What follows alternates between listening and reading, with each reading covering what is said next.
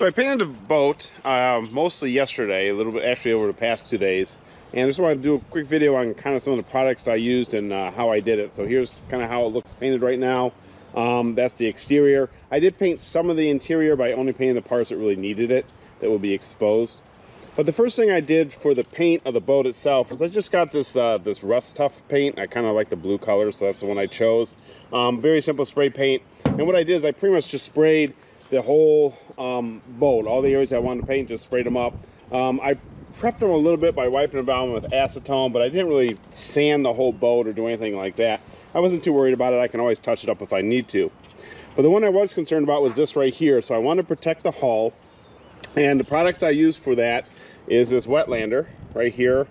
And it comes in two parts. It comes in this and it comes in this. This is basically the color. And what happens is you mix them. So what I did is I just grabbed a bucket like this one and I mixed um, half of this and half of this together. That would be my first coat. And then I did the second half uh, for my second coat and tend to work out pretty good. I noticed one thing though is on the first coat, it kind of like looks like it bubbles up a little bit and it looks weird, doesn't very really protects it. But then when you do the second coat, it tends to work out well. And their documentation does say that.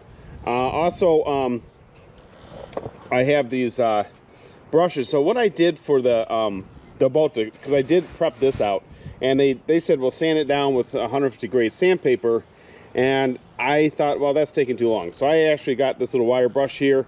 I tied uh, put that on my drill, and I did this whole boat. I had it prepped with the acetone um, in a half an hour. So I basically just scuffed everything up with this, did a really really good job, and then I ended up um, using the uh, the acetone to finish it off.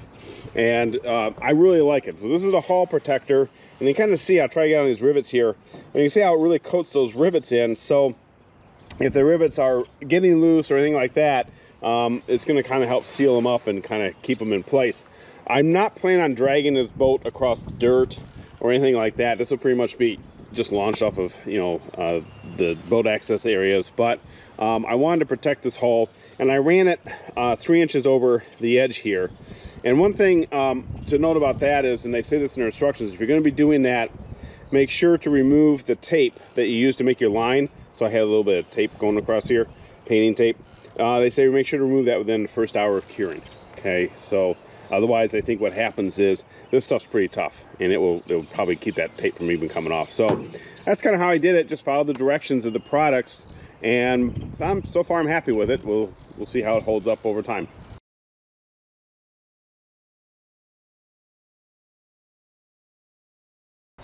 Hey, I want to do one uh, little additional uh, tip here.